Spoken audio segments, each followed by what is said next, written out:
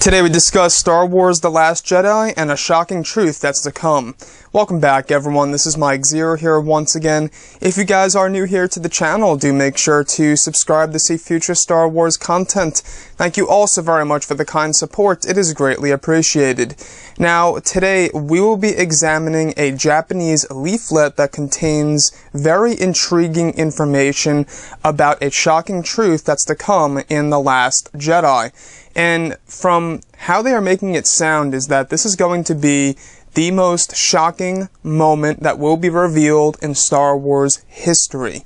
So let me read this to you guys. The full article will be linked below in the description. Go ahead and check that out as well. So it translates to this. The most shocking truth in Star Wars history will soon be revealed. A new generation's tale of the struggles of light and dark. Virtue and evil has begun with the death of Han Solo. In a galaxy where First Order and the Resistance are fighting against each other in a war, the heroine Rey had the Force awaken within her. What will happen to the galaxy when Rey and the only remaining Jedi Knight, Luke Skywalker, meet?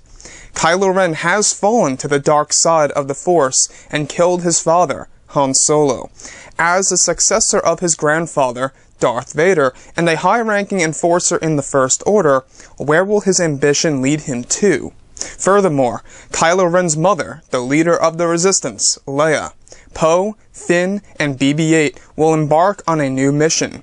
The story has finally begun, and it will lead to a mysterious climax. December 15th, be ready for the shocking truth, surpassing the previous stories.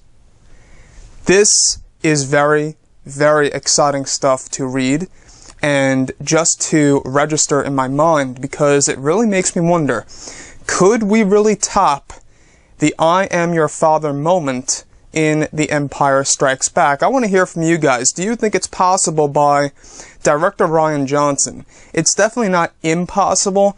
However, I believe it's going to be a hard thing to pull off.